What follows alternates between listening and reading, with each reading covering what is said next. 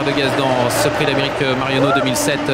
Alors il y a du monde, il y a beaucoup de monde bien sûr, énormément de monde, plus de 40 000 spectateurs pour assister à cette grande course. Voilà Laurent Brunto qui anime actuellement les on tribunes. Va à voir la Ola, Ah, Ola, ça va être dans quelques instants certainement, comme chaque année d'ailleurs. Regardez-moi ça. euh, À chaque, fois- à chaque prix d'Amérique, Laurent le récupère sans voix. hein. Il donne tout ce jour-là.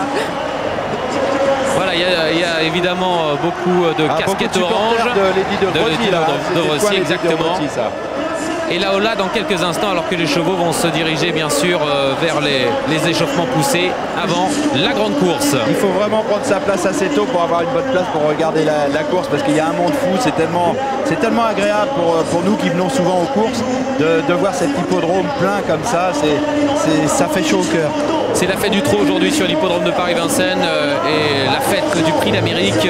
Cette épreuve de légende, cette épreuve de prestige que tout le monde rêve de gagner, on vous le disait. Lorsqu'on est propriétaire, entraîneur, driver, mais également là, on espère euh, un jour remporter cette euh, grande épreuve. Allez, la pression monte. La voilà, la hein. Nous aurons euh, 2700 mètres pour vibrer. 2700 mètres. 2700 mètres de bonheur. C'est la distance que l'on donne, distance de référence. Ça a toujours été comme ça sur le prix d'Amérique, 2700 mètres. Oui, ça a toujours été comme ça, sauf pendant la guerre où par deux fois, je crois que le Prix d'Amérique s'est couru en Anguin. Donc c'était pas tout à fait deux fois de 2700 mètres, ça devait être 2800 mètres. Parce que la Anguin c'est 2008 plutôt la distance de référence. Donc ça devait être 2800 mètres. Mais c'est vrai que la distance classique Vincennes c'est 2700 mètres. C'est la distance d'effort, c'est la distance où on part en montant, on fait 400 mètres en montant. Premier tournant, après il y a la descente. Dans, euh, une certaine époque, la descente était beaucoup plus accentuée. La plaine, où il ne faut pas, commencer à faire trop d'efforts à ce moment-là. Et puis vous arrivez dans la montée. Dans la montée, si vous avez beaucoup de vent de face, il faut mieux éviter aussi de venir en dehors parce qu'avec le vent de face, c'est très pénalisant. Et là, on arrive dans les derniers 700-800 mètres, à peu près où ils sont. Là, ils, ils vont arriver dans le dernier tournant. Et là, les, les choses intéressantes se passent là. Allez, on s'échauffe quelque peu avec Niki, avec la Dieu du Bois, avec Lady de Rossi, avec euh, également Ludo Castel et Malabar Circle Os. Mais on va retrouver tout de suite Gérard de la Ville avec Audrey. Le- C'est le lac, bien sûr, de Quesaco Fedo. Voilà, on vient de, on vient de voir Mathias. Gérald, c'est également. C'est une petite surprise quand même de voir euh, au départ. Il y, a, il y a deux mois de ça, on ne l'attendait pas. Non, c'est vrai. euh, il y a deux mois de ça, on n'était pas censé euh, couvrir le prix d'Amérique. Et dans ces conditions-là, en étant euh, installé favori, bon, maintenant, euh, c'est toujours appréciable. C'est des moments qu'il faut apprécier parce que euh, c'est des chevaux qui commencent à avoir de l'âge et ils vont être atteints par la mi- limite d'âge l'année prochaine. Donc il faut savourer un petit peu ce moment, quoi que fasse le cheval. En tout cas, le cheval est resté bien et on attend une belle course. Bon, il a déjà gagné le prix d'Amérique, c'était en 2004. Qu'est-ce qu'il a, qu'il a changé cette année? Qu'est-ce qu'il a changé? Je vous dirais qu'il arrive un petit peu dans les mêmes euh, dispositions qu'en 2004. Euh, à un mois, un mois et demi, euh, on n'était vraiment pas sûr de courir le prix d'Amérique et dans de bonnes conditions. Et là, je vous avouerai franchement que je ne sais pas si c'est un signe du destin ou quoi que ce soit, mais euh, c'est vrai qu'on arrive un petit peu dans, dans le même état de fait. Merci Gérald. Alors, comment on se sent dans l'entourage de Jacques de Belloué On va le savoir avec, avec Guillaume qui est tout près de, de Marie, la compagne de Christophe Gallier. Oui, alors il y a quelques instants, on faisait la Nouba, on faisait la, la Ola dans les tribunes. On espère la faire dans quelques instants avec la victoire de Jacques de Villoué. C'est ce qu'on espère ici avec Dimitri et Marie. Marie, euh, c'est le dernier euh, prix d'Amérique pour Christophe et associé à Jag. Est-ce que c'est pas une petite pointe de tristesse pour vous? Si, mais euh, quoi qu'il fasse, de toute façon, c'est notre champion et euh, on y croit à fond. Et peu importe le résultat, ce sera beau et on va le vivre à fond. Je trouve un petit peu plus détendu que lors des, des précédents prix d'Amérique. Euh, non, non, c'est que je le cache bien. Je- Vous êtes prêt à encourager euh, votre champion? Ah oui, on va l'encourager. On est toute la même équipe comme à chaque fois et, euh, et on le suit à fond. Merci beaucoup et bonne course. Merci. Voilà, vous avez vu euh, Dimitri et les personnes qui l'entouraient qui sont en train de danser. Il y a beaucoup de musique et beaucoup de, de spectacles actuellement euh, sur l'hippodrome de Paris-Vincennes. Le de spectacle, c'est sur la petit piste, bien sûr. Vous voyez, il est en train un petit peu de le tendre, des petits claques aux fesses, lui faire comprendre, disons, euh, bon, euh, petit gars, là, euh, allez, hop, Allez, il faut se réveiller. faut que tu te remettes la bouche en place un petit peu, faut que tu te mettes bien. Trois minutes avant le départ. On arrive pas loin du départ, là. Trois maintenant, minutes faut- avant faut le départ. pression. Un grand champion, grand record. Le record de vitesse à battre aujourd'hui. Une 12, et 12, 3, trois. 3 dixièmes. ouais. On l'a vu avec le- effectivement le dessin de Joyeux tout à l'heure. Détenu par. bah, Kezako Fedo. Kesako Fedo, Il y a euh, deux ans, en il y a trois ans. 2004. Allez, euh, Pierre-Joseph et Richard sont euh, présents bien sûr pour euh, regarder les canters. On, va vous donner la main les, les amis pour euh, nous dire peut-être ce que vous avez vu là lors des dernières minutes. Ah, J'ai vu une Lady de Bretty pimpante. Pierre Joseph, je sais pas si vous me suivez, mais la jument est Absolument. Vraiment, c'est incroyable. C'est peut-être le meilleur canter à laquelle j'ai assisté euh, depuis euh, quelques minutes. J'ai vu un coup du coup super léger, super bien. Également un Jack de Belloué qui en effet était très nonchalant et vous me confirmez un petit peu cette impression, euh, Jean-François, en me disant que eh bien on essaie de le tendre un petit peu avec, avec Christophe. On est en train de, de le réveiller. Jack va prendre un, départ à nouveau dans quelques instants. Eh bien, écoutez, on l'a vu beaucoup moins violent déjà au niveau des hits. Aujourd'hui, on est beaucoup moins violent avec Jacques de Belloué. On semble préserver, on préserve pour ce dernier round de Jacques de Belloué avant la course. Mais comme il s'est donné il y a huit jours, on peut penser qu'il va quand même être euh, très très chaud pour euh, cette épreuve. Son dernier prix d'Amérique, euh, Mariono. Une course franco-suédoise, puisque nous avons que des Suédois au niveau des étrangers en ce qui concerne les trotteurs, même s'il y a un concurrent qui porte des couleurs italiennes de par le propriétaire Malabar Carlos. En fait, c'est un match France-Suède. J'ai l'impression que Jacques de Bellouet, comme il n'a pas fait un hit très très poussé et que euh, vraiment on a temporisé un maximum, je ne pense pas que Christophe Gallier va, venir aux avant-postes aussitôt que les, fois d'avant. Et c'est un peu pour ça qu'il ne l'a pas trop bousculé au niveau des hits. Vous en pensez quoi, vous, Pierre-Joseph? Écoutez, sûrement, mais j'ai jamais vu un Jacques de Bellouet aussi préservé avant une épreuve. Bon, c'est sa dernière course, on, on essaye sans doute euh, euh, de le préserver, me semble-t-il. Allez, déserté. Hein. Au niveau des décanters, on ne peut plus rien inventer maintenant. On est à deux minutes du départ. C'est ce qu'on annonce ici, en tous les cas, sur euh, le camion qui est placé près des déserts de départ. Et regroupement général, messieurs. hein, les chevaux se rapprochent euh, du, du départ. Voilà, on une est- Javadar qui était très bien également, hein, super euh, 21 souple. secondes. hein. Ouais, une vingtaine de secondes, une, une 18 secondes pour être précis, puisqu'il y a un compte à rebours. On va rentrer sur la piste.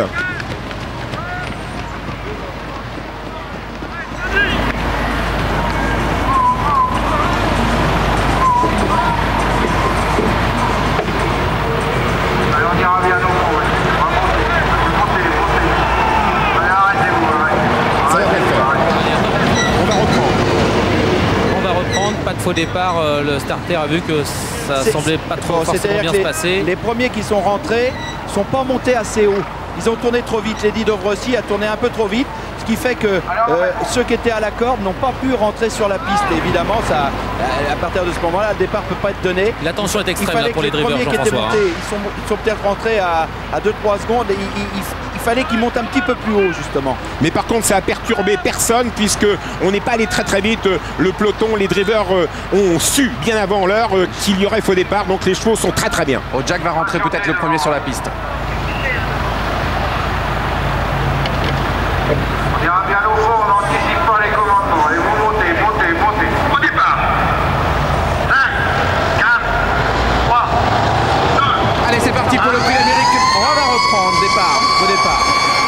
Et Conti Lebel, le numéro 14, Ouais, serait parti au galop, hein. Heureusement, il y a faux départ pour le 14. Voilà Jean-Pierre Le Gardinier, le starter qui vient de lever son drapeau rouge. Effectivement, Connie Nobel est parti au, au galop. On espère qu'il ne va pas y avoir de- d'autres faux départs parce que ça, ça pourrait Il y a gâcher le Joyeux qui est en train d'exploser là. On a de mauvais, de mauvais souvenirs concernant euh, les faux départs dans l'Amérique, on se souvient de, de Varennes. Alors c'est le numéro 4, l'Adagiel qui a provoqué le faux départ. C'est Jos Verbeck, euh, Jean-François. Ouais, ça veut dire que Joss est- est- a certainement envie de, de prendre les avant-postes relativement rapidement. Et puis Jardy partait tout à l'extérieur, c'est dire que Christian Bijon aujourd'hui va être beaucoup plus offensif. Et quand il est parmi les premiers, Jardy est très bon. Un Et entraîneur présent on a sur, vu le- sur la droite, messieurs Connie Nobel effectivement se montrer fautif et Lady devrait aussi partir un petit peu en retrait. hein. Un entraîneur est présent sur les raquettes, c'est Bertrand Carnivinen. Il vient de remettre un point d'enraînement à Louman à Flore. Et Sébastien Boll était très mal embarqué euh, dans ce faux départ avec euh, Lily Dovrecy. Autant le premier c'était très bien à l'extérieur et là il était derrière. Allez, nouvel essai.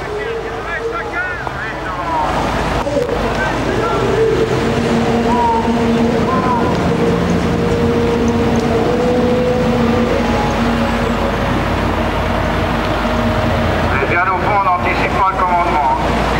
Au départ 5, 4, 3, 2, 1, Départ validé pour ce prix d'Amérique Marionneau 2007 avec à l'extérieur Jardy qui est bien parti, Jack de Bellouet bien parti, Dovrecy s'est fait un petit peu prendre de vitesse au départ. Malabar c'est Ross qui gicle, Chavanage qui va essayer de prendre un bonne place d'entrée de jeu avec le 7 également super light et c'est bien parti. Ah, c'est très mal parti par contre pour Niki, numéro 2, qui a perdu une grande partie de ses chances. Tony Lebel, qui était parti au galop lors d'un premier faux départ, est parti très lentement. Louvain Lafleur est au grand galop. Ludo de Castel fait partie des derniers. C'est Super Light, par contre, qui a l'avantage devant Malabar Circulos. Jack de Bellouet dans le plaqué Jardy malheureusement qui se retrouve parmi les derniers. Kezako Fedo est maintenant dans la boîte avec Michel Lenoir. Il se place 5-6e. Alors on passe devant les tribunes, on est à 2100 mètres de l'arrivée avec Malabar Seeker Halls. Quel avantage alors que Jacques de Bellouet est au galop Jacques de Bellouet, catastrophe, est au galop et perd euh, une grande partie de ses chances remis par Christophe Gallier. Et c'est Superlight qui a l'avantage à 2000 mètres de l'arrivée devant le public qui salue le public. Superlight à un tour de l'arrivée en deuxième position, Malabar, Cirque Halls. Et puis les favoris se rapprochent à l'extérieur. On voit Kezako Fedo, on voit Jardy. La qui à la. La est au galop. La Daxiel malheureusement en galop, on sort bien sûr les Widenschein qui sont à l'extérieur. Jardy, le numéro 17, avec également Kezako Fedo qui lui est en deuxième épaisseur. On vient attaquer Superlight toujours en tête, il a relégué en tête Malabar Circolos. De Précy qui vient en troisième épaisseur également, elle est pour l'instant 5-6e. Vraiment une rencontre France-Suède. Deux Suédois d'accord, deux Français à l'extérieur. Les deux Français, ce sont les deux Willenstein. C'est Jardy qui va prendre la direction de l'épreuve. Numéro 17, Jardy. Et Christian Bijon, deuxième position, Superlight. Le numéro 7, la troisième place pour Malabar Sikaros, le 12, qui représente l'Italie, mais aussi l'origine suédoise. Et la petite Lady Dovresi, la petite blondinette, qui se rapproche à l'extérieur. Kezako Fedo contre le leader Offshore Dream se rapproche. La Dalchiel est revenue après sa faute. Les deux Widenschein vont être 1 et 2 pour l'instant avec le long de la corde numéro 17, Jardy, Kezako Fedo à l'extérieur, Superlight. Sébastien Baud essaye désespérément de se cacher, il va le prendre le dos d'Offshore Dream. J'ai vu derrière Connie Nobel à la faute. Casir de Guest qui est là. Coup du coup malheureusement pour l'instant enfermé. Franck Nivard veut sortir, il ne le peut pas. Alors que Jacques de Bellouet est en 10, 12e position, on est malheureux avec le numéro 5, Cool Duco, complètement enfermé en dedans. 800 mètres à parcourir. Jardy, le 17, toujours en tête. Kesafo, Fedo, le gagnant de ce prix d'Amérique 2004, est en deuxième position. Cassier de Gaz. Jean-Michel Bazir accélère à l'extérieur. Offshore Dream se rapproche. Jacques de Bellouet tente un dernier baroud à l'extérieur. Incroyable l'entraînement de Jean-Michel Bazir et 1, 2 et 3, bientôt 500 mètres du but. Lady de Bressy qui plafonne complètement. Cool Duco qui va sortir dans quelques instants, il a beaucoup de ressources. Offshore Dream, le cadet de cette épreuve, est pour l'instant quatrième. Alors que Jag est encore au galop, c'en est fini pour ses adieux dans le prix d'Amérique. Salut euh, Jacques, on bien. Toujours sous la conduite de Kesako Fedo, le gagnant de ce prix d'Amérique 2004 et Michel Lenoir. Attaqué par Pierre Lévesque à l'extérieur, Offshore Dream. C'est le petit de cette épreuve, ce fils de Red Dudon. Offshore Dream qui attaque Kesako Fedo. Offshore Dream, c'est Pierre Lévesque. Offshore Dream, c'est le plus jeune, la nouvelle génération. Ah, et Cool Ducon qui a été très malheureux, qui termine deuxième. Passe d'arbre de Pierre Lévesque et d'Offshore Dream. C'est lui qui a le mois de gain pratiquement de cette épreuve et qui va l'emporter. C'est l'avenir. Offshore Dream et Pierre Lévesque. Cool Ducon est deuxième. La troisième place pour Casir de Gaz.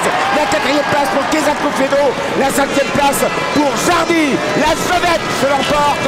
Offshore Dream et Pierre Lévesque. Extraordinaire victoire de Pierre Lévesque avec le petit poussé de la course, le Benjamin de l'épreuve. Offshore Dream, 5 ans, remporte ce prix d'Amérique Marionneau 2007 avec ce grand driver Pierre Lévesque qui a attendu durant toute la course, qui est venu dominer ses adversaires dans la phase finale.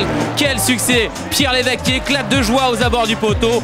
Offshore Dream remporte l'Amérique aujourd'hui, Jean-François. C'est extraordinaire pour lui. Oui, il y a les, heureux et puis les malheureux. On vient juste d'avoir Jacques de Bellouet qui passe devant nous. Évidemment, lui a loupé sa course.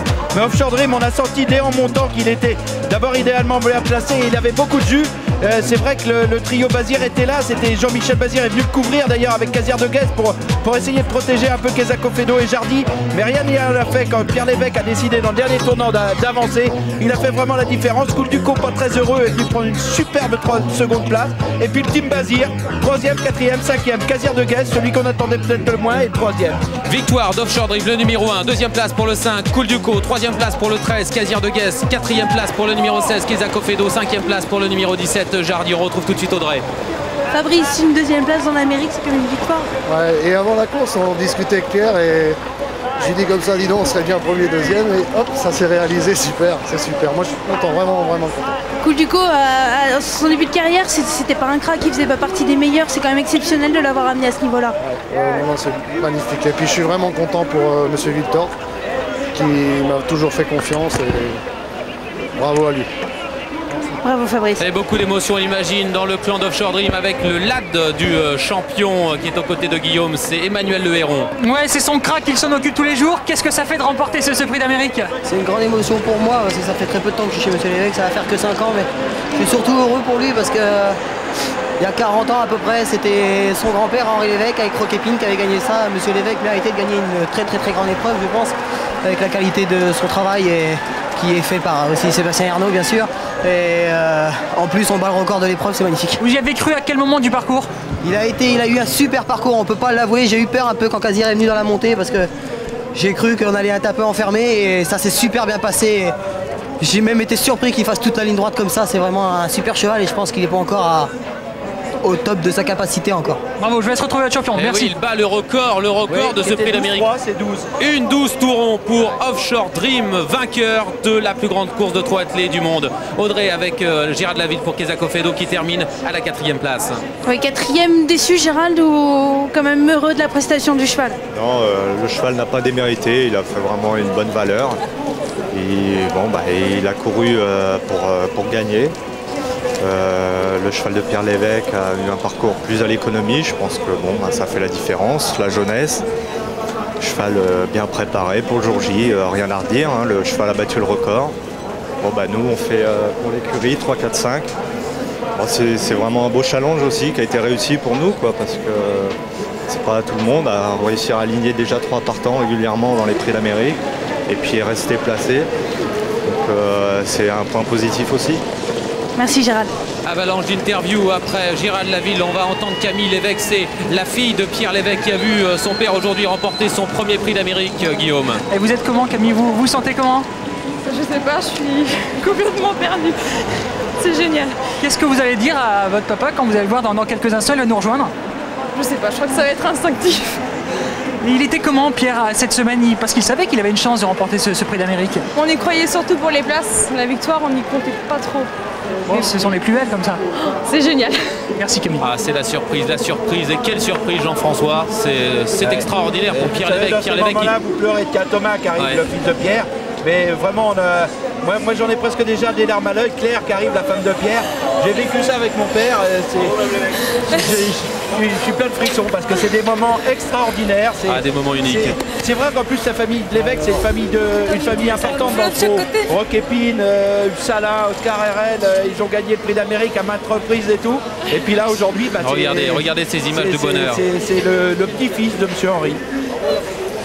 Comme quoi, il peut y avoir aussi de jolies surprises. On, a, on Mathias attend certains et. euh, et ce sont d'autres qui s'imposent. Mathias Gir avec euh, Audrey tout de suite. Oui, c'était peut-être celui qu'on attendait finalement euh, le moins des trois Bazir et il se place quatrième, troisième pardon. Troisième, d'accord, très bien. Il n'a peut-être pas été très heureux à un moment donné.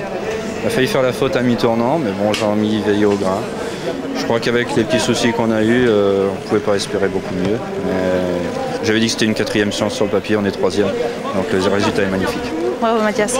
Et l'interview la plus importante de la journée, c'est bien sûr l'interview du vainqueur de cette grande épreuve, Pierre Lévesque avec Richard. Pierre Lévesque est accaparé de toutes parts, il sait plus où donner de la tête. Quel jour fabuleux pour vous, Pierre Oui, parce que on était confiants en fait. On était très très confiants, le cheval était super bien. Et on a eu un parcours de rêve. Euh, Bien que j'ai eu peur, bah, trois vasirs devant moi dans le tournant, je commençais à m'inquiéter, mais bon, quand je suis sorti, le cheval euh, s'est envolé, il était dans un état resplendissant. C'est presque un non-sens. hein. Tous, les, tous les grands pilotes, tous les grands pilotes ont remporté bien sûr un jour un prix d'Amérique. Euh, pour vous, bien sûr, c'était un rêve, hein, vraiment à obtenir, à, à- à- bien sûr à capter. C'est vrai que ça nous manquait. Ça nous manquait, on gagne beaucoup de courses, mais cette course-là, elle est mythique. Mon grand-père l'a gagnée cinq fois. euh, Ouais, super. Et on était vraiment très très confiants. Il y a trois semaines quand même, vous étiez pas sûr de participer au Prix d'Amérique avec Offshore Dream. Et j'ai rencontré tout à l'heure Marianne Dreux-Sassier qui me disait peut-être qu'à 5 ans, on est vraiment dans l'âge de la maturité. Moi je trouve, et puis le cheval, comme il est fait, c'est un cheval qui n'a pas de défaut. Il est magnifique et il a des points de force terribles et il est en pleine force de l'âge. Donc c'était l'année où il fallait le courir. Comme il venait de se comporter. euh, Moi, je- moi craignais personne à part Kezako qui m'avait beaucoup plu ces derniers temps. Sinon je craignais personne. Mais bon, il faut toujours euh, y croire. Euh, les parcours étaient parfaits en plus. Donc, euh, On vous laisse savourer ce succès. Bravo Pierre. La consécration pour Pierre Lévesque, euh, félicité de toutes parts bien sûr. Tous les photographes sont là en train de, de photographier le cheval et le driver. vient Rarement aux courses, Thierry Villot, le propriétaire Dream, il est là aujourd'hui. Et il vient très très rarement aux courses. Et euh, bon, tout le monde l'a l'a forcé un peu à venir aujourd'hui. Allez, on, on vit ces moments avec, avec Pierre actuellement. Voilà, félicité, embrassé après ce très grand succès. On va retrouver Audrey avec Jean-Michel Bazir. Oui, Jean-Michel qui est, qui est même en train de, de dételer son cheval sur la piste tellement il y a de monde dans les balances. Jean-Michel, une troisième place avec Kazir, c'est magnifique. Oui, il court très bien. Le cheval en fait était pas que fit, il était aussi fit and well dans Nord. On a vu une superbe image euh, au niveau de l'intersection des pistes où il y avait vos trois représentants qui étaient aux trois premières places. Vous y avez cru euh, à ce moment-là, la victoire? Non, pas encore. J'avais vu que Pierre allait très bien, mais bon, ça c'est une image qui restera gravée à vie dans ma mémoire, c'est clair. Merci Jean-Michel. Allez, on rejoint tout de suite euh, Offshore Dream et Pierre Lévesque après cette interview de Jean-Michel Bazir. Voilà, il passe devant le public, euh, devant la foule, 40 000 spectateurs pour féliciter Pierre Lévesque. Vous voyez Michel Gozlan, l'un des fidèles propriétaires euh, de Pierre Lévesque, euh, qui est là aux côtés euh, de ce grand driver. Et Voilà. Roger Baudet, courtier et grand amateur euh, Emmanuel Le Héron, qui n'est pas en loin. Allemagne. Tous les gens qui, qui- Pierre, évidemment, sont venus euh, pour le féliciter. C'est vrai que ça, je crois que ça, fait chaud au cœur à tout le monde parce que Pierre Lévesque est un professionnel reconnu, je crois aimé par, euh, beaucoup, par beaucoup de la profession et un garçon toujours très droit, très travailleur et puis finalement un, un- un garçon à qui il manquait une grande, grande victoire, c'est fait. Il avait remporté le prix de Cordulier il y a de nombreuses années, dans les années 80. Oui, Mirande le du championnat Cadran. du monde des, des trotteurs monte exactement avec Mirande du Cadran. Mais là, c'est un succès dans l'Amérique et, et c'est évidemment le plus grand succès de sa carrière. Ouais, et puis je crois que c'est le plus grand succès et ça sera certainement sa plus grande joie parce que je pense qu'il sera amené à en, à en gagner d'autres. Certainement peut-être aussi avec Offshore mais certainement d'autres chevaux. Euh, Pierre Lévesque est encore jeune, mais je pense que euh, ça, ça sera certainement un de ses plus grands moments de sa carrière de driver. Et incroyable, incroyable ce cheval âgé de 5 ans qui euh, n'aurait pas pu participer au prix d'Amérique s'il n'avait pas remporté le Critérium Continental. Ah comme oui, quoi, mais oui, mais ça, les choses sont bien les faites. hein, mais bon, ce qui se passe, c'est que ce que je vous ai dit tout à l'heure, c'est un cheval qui s'est endurci au trop monté à l'âge de 3 ans et 4 ans. Donc c'est un cheval qui est arrivé en pleine maturité déjà à l'âge de 5 ans et un cheval très très dur pour ces batailles-là. Voilà Liliane Pinguet qui est là avec ce cheval qui a, qui a été présent lors du défilé et le, champion qui passe devant la foule. On a des casquettes oranges pour Lady de Brossy qui malheureusement ne fait pas partie de l'arrivée de ce prix d'Amérique de Marionneau 2007. Voilà Pierre Lévesque euh, qui euh, poursuit donc euh, son tour d'honneur. Mais bon, ah, ce sont on- des, des on- moments exceptionnels, Ouais, Jean-François. on- Pour, pour on Pierre verra Lévesque, quand là, même, c'est quand même des courses exceptionnelles, c'est des, c'est des grosses batailles du départ à l'arrivée. Il faut vraiment un grand champion, un grand driver pour gagner cette course-là. Et finalement, c'est un nouveau couple qui entre dans la légende, un nouveau driver, un nouveau cheval. Belle aventure.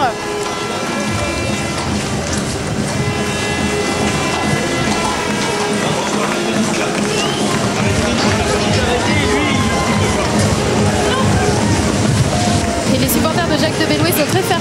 On les voit, ils applaudissent tous le vainqueur. Et on était là avant tout pour un grand rendez-vous sportif. Et le public ne s'y trompe pas, il ovationne le nouveau champion. Comme quoi, c'est un grand, grand, grand rendez-vous qui fait vibrer des milliers et des milliers de personnes.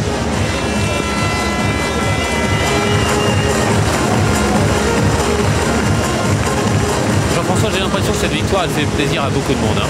Oui, je pense, parce que Thierry Villot est un propriétaire discret, mais bon, il a eu Blue Dream par le passé. Il a eu, c'est un propriétaire heureux, chanceux en plus. Donc vous voyez, ça, ça se confirme aussi sur la piste. Et euh, Pierre Lévesque est un homme adroit, un autre grand professionnel, euh, un homme sympathique. Nous, on a grandi ensemble. euh, son, son arrière-grand-père, Monsieur Lévesque, était très ami avec mon père.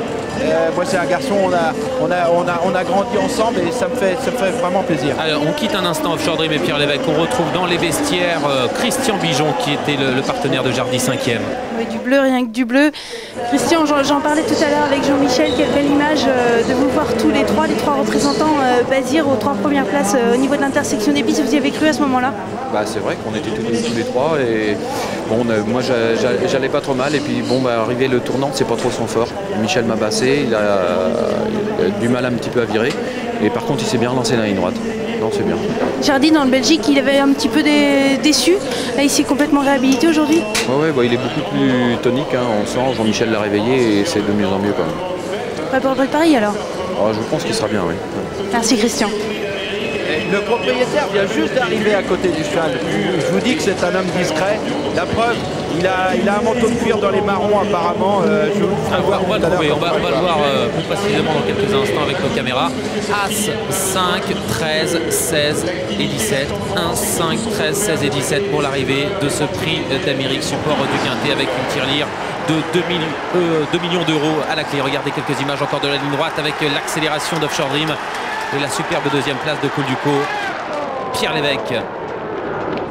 C'est la consécration pour cet homme aujourd'hui. Et le record à la clé. Une 12 tourons record battu.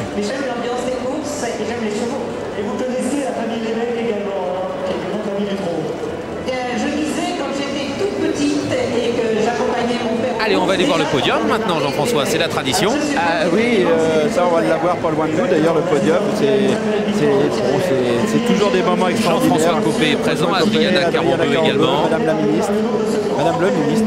Le président du cheval français Dominique de Bellec, que vous apercevez également Michel Alliot-Marie. Et on va dans quelques instants euh, retrouver sur le podium euh, Pierre Lévesque. Pierre Lévesque qui a complètement euh, explosé aux abords du poteau et pourtant c'est quelqu'un de, de très calme, de très froid. Mais là c'est tellement immense pour lui que il s'est laissé aller. beau ces images, c'est- c'est extraordinaire, ça, ça fait palpiter, ça fait... Victoire indiscutable. hein. Ouais, ça se passe de commentaires, c'est... Puis pour les gens du métier, C'est rare, Jean-François, d'avoir vu un numéro 1 s'imposer dans l'Amérique. hein. Ouais, dans l'Amérique c'est rare, mais bon c'est à 5 ans, il est, il est mature, il est dans la pleine force de l'âge. Il avait tout pour lui, il est maniable, il est brave et ça compte aussi dans un prix d'Amérique. Le podium.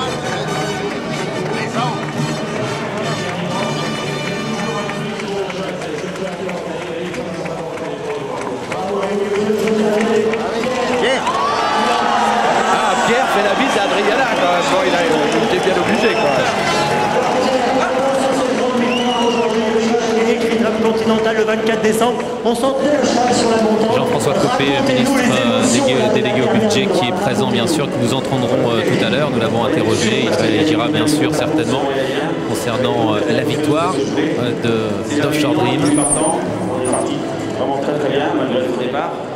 Et le cheval était vraiment en condition magnifique. Et dans les tournants, j'ai vu que j'avais tous les adversaires à ma mesure. Et il fallait passer quand même, il y avait trois chevaux de Jean-Michel Bazir. Ça me gênait un petit peu. Mais quand j'ai pris l'extérieur, le cheval s'est envolé. Voilà. Et il a vraiment gagné en Guillaume, nous allons le retrouver dans quelques instants. Laurent Bruto est en train d'interroger euh, le vainqueur de cette Prix d'Amérique, Pierre Lévesque. Guillaume qui est aux, aux côtés d'un- champion qu'on a adoré durant ces dernières années. On le, on le salue aujourd'hui. C'est Jacques de Bellouet, Guillaume. Ouais, et je suis avec le driver du champion, c'est c'est Christophe Gallier. C'était aujourd'hui le dernier prix d'Amérique de, de votre champion. Et malheureusement, il a fait plusieurs fautes, peut-être un petit peu moins à l'aise que d'habitude aujourd'hui. Ouais, ouais, dès, dès le canter, ça n'allait pas. Le cheval euh, était gêné, il était pas désagréable dans la bouche. Donc, euh, ouais, ouais, de- on savait où on allait à peu près. euh, donc, niveau moteur, impeccable, il a refait un super parcours. Mais bon, c'est pas la fin, mais c'est pas pour le bon jour toujours. Pas trop déçu, euh, tout compte fait, de, de sortir comme ça avec une disqualification? Non, non, parce que c'est pas encore, comme je, je viens de le dire, c'est pas la fin. Il va ressortir sur d'autres courses que ça. Des, coups plus, des courses moins bonnes, il en a eu hein, quand les carrières sont longues. Donc, euh, non, non, le principal, euh, on aurait été plus déçus forcément si on n'aurait jamais gagné le Prix d'Amérique. Mais comme c'était une chose faite, euh, c'est moins grave. Alors justement, on voit les images de, de Pierre Lévesque, de toute sa joie. J'imagine que ça vous remémore de, de bons et de grands souvenirs. Ouais, tout à fait, hein, c'est des bons moments. hein. Toujours même que ce soit bah, Pierre Lévesque fait partie des. Il y a beaucoup de gens qui le méritent. hein. Michel Lenoir l'aurait mérité autant. Il y a beaucoup de. Qu'on a eu la chance de le gagner une fois, c'est super. Donc euh, c'est des belles images à voir. Merci, merci Christophe. Voilà, la déception de Christophe Gagneux, on peut euh, évidemment comprendre cette déception. euh, Et la, Mar- la Marseillaise, la Marseillaise qui retentit sur l'hippodrome de Paris-Vincennes.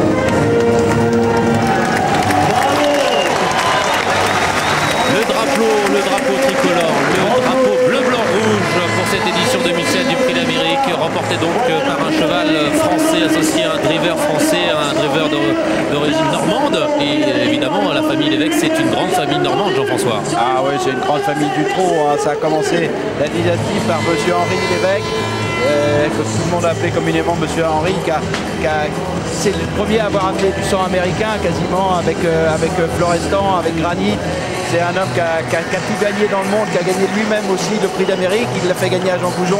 Euh, C'était un, grand, grand, grand monsieur. Et puis la dynastie Lévesque s'est- poursuivie par, euh, avec, euh, avec, avec deux, fils. Madame de Fauteville, qui est une fille de l'évêque aussi. Et puis là, le, euh, petit-fils, il y a Bertrand de Fauteville, bien sûr, et puis Pierre. Et Pierre, aujourd'hui, bah, atteint la consécration, puisqu'il emporte cette fameuse course mythique qu'est le prix d'Amérique et dont chacun rêve de gagner.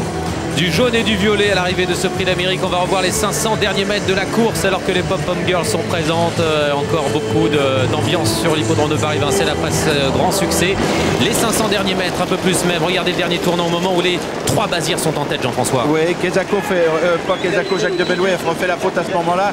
Coul de Co est obligé de tourner. Et quand, Pierre Lévesque va voir Coul du Co arriver vite, évidemment, c'est le moment qu'il va choisir pour. Il attend un maximum et quand il voit Coul du Co arriver, évidemment, il sort, c'est normal. Il va pas attendre d'être enfermé de faire le tour d'après de, de du Co. Pour Jean-Michel Bazir, ça devait être une image extraordinaire. Il y, a, il y a 300 mètres de cela avec Jardy, Kezako et Kazir de Guez, les trois aux avant-postes. Euh, Superlag qui était venu un petit peu devant les tribunes en tête, euh, pêche un petit peu pour finir. Euh, derrière, c'est un petit peu la débandade, mais on sent que euh, Offshore Dream a la course à sa main et rien ne peut plus lui arriver. Euh, Pierre connaît son cheval, il est sûr. Et Coul Duco derrière, bah, c'est très bien aussi. On le savait, on était très chaud aussi pour Coul Duco, ça s'est avéré. Déception, on l'imagine, du côté de Jos Verbeek qui drivait la Dagiel, Guillaume. Oui, on va demander à Joss, est-ce que vous êtes déçu par la prestation de la DAC-GL Oui, euh, ça m'a pas trop arrangé euh, devant la tribune que ce qui s'est passé. C'est dommage parce que mon cheval était bien. Tout le monde était sûr à l'arrivée, mais une fois qu'il a fait la faute, c'est plus le même cheval. Mais C'est un concurrent qui m'a sorti. C'est mal passé. Est-ce qu'on peut le, le revoir durant les autres belles épreuves du, du meeting, notamment le prix de France ou le prix de Paris? Normalement, oui. On va, on va essayer hein, de prendre la revanche. On vous suivra, merci Joss. Voilà, Jos Verbeek qui va driver Flégias dans quelques instants dans le prix Charles Tiercelin. Mais je vous propose tout de suite de tourner une petite page de publicité. Voilà euh, l'arrivée de ce prix d'Amérique Marionneau, victoire d'Offshore Dream, deuxième place pour euh, Cool Duco, troisième place pour Kazir de quatrième place pour Kezako Fedo et Jardy qui termine à la cinquième place.